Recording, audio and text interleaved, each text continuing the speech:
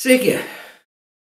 Dar viena, manau, kad gera žinia visiems ir visiems reikėtų susitelkti.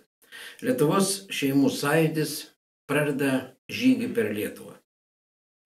Lietuvoje tikrų politinių partijų su savo ideologija, atstovavimo visuomenės segmentų interesams, programomis iki šiol nebuvo.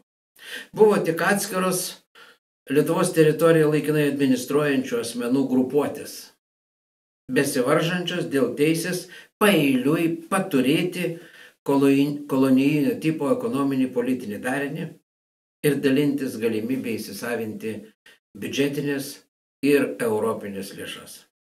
Tai buvo tik tokios varžybos arba svarstyklės dėl teisės pasivokti. Vieni, kiti, vieni, kiti, bet esmiai visų tikslai buvo vienodi.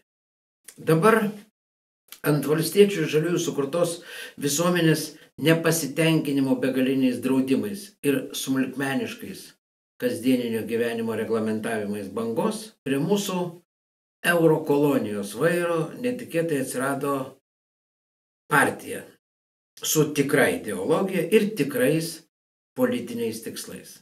Tai laisvės partija.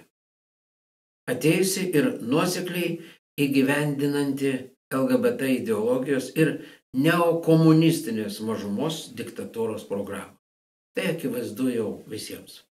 Prasidėjo naujas, visai naujas žaidimas, kur senųjų pseudopolitinių dinozaurų interesas dar ir dar pasivokti sutapo su naujųjų hom jaunuolių siekiu pakeisti visuomenį iš esmės gaunant dar daugiau globalistinių skaičiukų sąskaitose ir kitų bonusiukų, užtikrinančių teisę totalitariškai kontroliuoti visas visuomenės gyvenimo sritis ir tuo pačiu, aišku, galimybę dar daugiau pasivokti. Šių antivalstybinių ir antivisuomeninių darinių tikslams įgyvendinti COVID-19 ir jų pačių dirbtinai sukelta pandeminė isterija suteikia neribotas galimybės.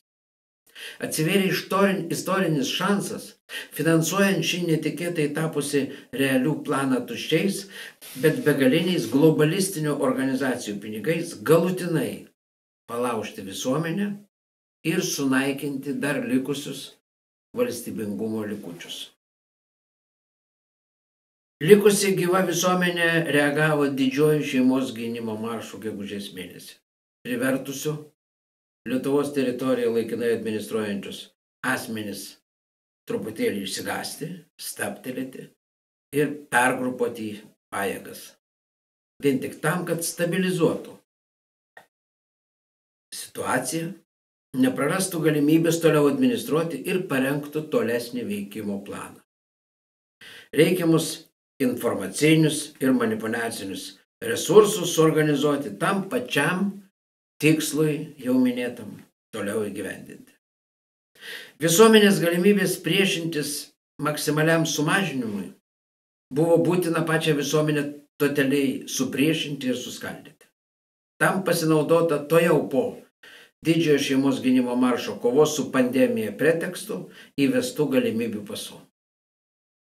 Esminga vien tai, kad paso idėja ir parengimas patikėtas ne sveikatos apsaugos ministerijai, ne tam krizių valdymo centrui su savo buhalterio vadovu, kaip priklausytų pagal kaip ir problemos pobūdį, bet ekonomijos ir inovacijų kabutėse ministrai Armonaitį.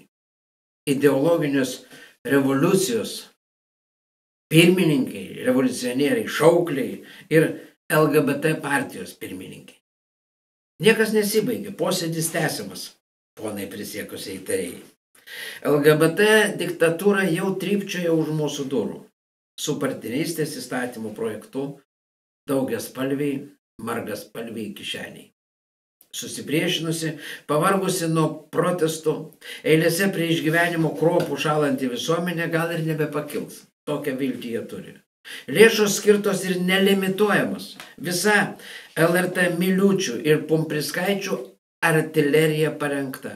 Tekstai parašyti, taikiniai numatyti, informacinis artilerijos parengimas prieš šturmą bus pradėtas netikėtai. Reikiamos aukštumos jau užimtos. Konstitucinio teismo pirmininkė implantuota Jočienė viešai pasisakanti už konstitucinės šeimos sampratos žaliminį praplatinimą, žalimas buvęs konstitucinio teismo pirmininkas. Tad priemus partnerystę ir ginčiant LGBT diktatūros įteisinimą, konstitucinis teismas be abejo nesikiš ir po metų kitų nagrinėjimo galima Seimo narių skundą atmes. Senis žalimas taipogi nerimsta ir kasdien vaidenasi už mūsų pinigus apmokėtose ekranuose, laukdamas savo žvaigždžių valandos. Prieš Lietuvos Respublikos prezidentą, jo ekscelenciją Gitaną Nausėdą, pasisakusi prieš LGBT partnerystę, jo šeimą, organizuojamas įvairios tipo visuomenininkų akcijos. Jis kasdien puolamas spaudoj, niekinamas, net nesirenkant padarių žodžių, siekiant jį atkirsti nuo visuomenės ir marginalizuoti. Viskas parengta, tik reikia nuspausti mygtuką atėjus tai lemtingai X valandai. Ministerijų ir departamentų klerkai žino ir informuoja.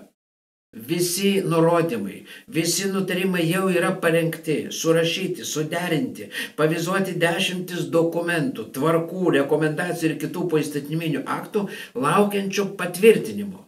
Tik priėmus partnerystės įstatymą bus nuspaustas kitas mygtukas ir šių popierių, taip, Lavina užgrius vaikų darželius, mokyklas, gimnazijas, universitetus, visą švietimo ir teisingumo sistemą bei žiniasklaidą.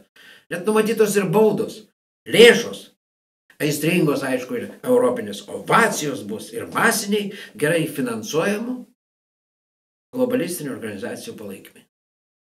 Taigi, tėveliai ir mamytės, ruoškimės tam, kas mums, jums ir vaikučiams ruošiama. Po šito pramušus partnerystės dugną įstatymuose bus teisminėmis procedūromis apeita ir paneigta pati konstitucija. Kaip ir visoje Europoje. Seks teisės pripažinti vienalytės šeimas ir įsivaikinti teismai. Bus nepykantos kalbos pretekstų galutinai užgniaužta žodžio laisvė ir kriminalizuota nuomonių raiška. Jau nuomonės pastebėjo tikriausiai, jau blokuojamos ir Delfija, nuomonių reiškimas ir Lietuvos ryto portale.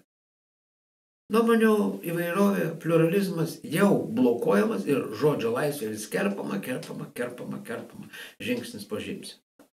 Pandemija yra iš tikrųjų tik dūmų uždanga tam, kad laikina diktatūra įvedama COVID-19 pretekstu būtų priimta ir palikta visiems laikams ir taptų nuolatinė